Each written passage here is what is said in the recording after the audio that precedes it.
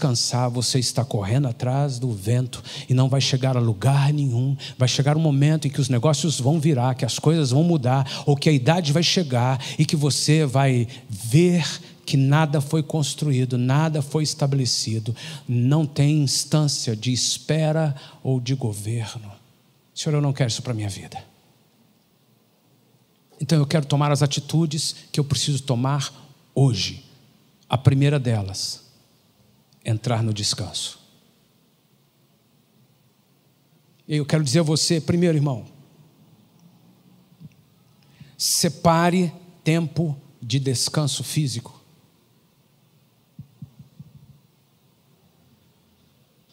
Uma vez eu usei uma ilustraçãozinha tão boba.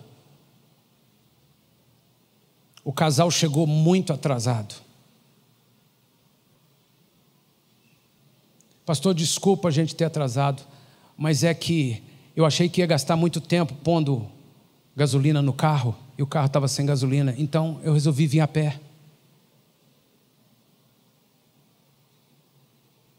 Como é que é? Você não quis gastar tempo pondo gasolina? É, eu achei que ia demorar muito.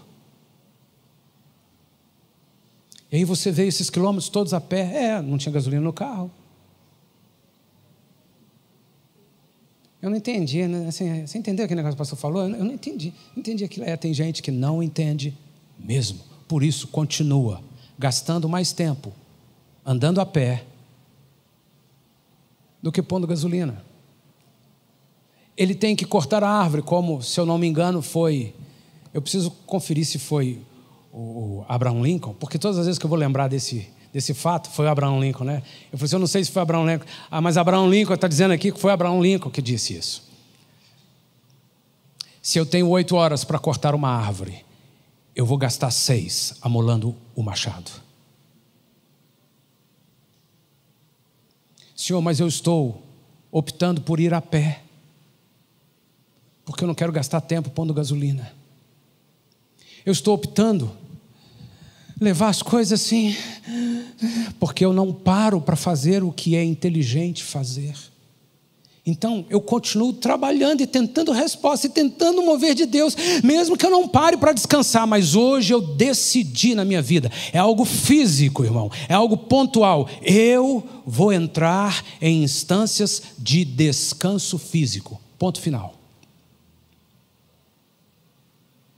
Isso é tão sério que Deus disse ao povo de Israel: vocês vão obedecer isso por lei. Sábado é proibido fazer tudo. Eu sei que vocês não vão obedecer.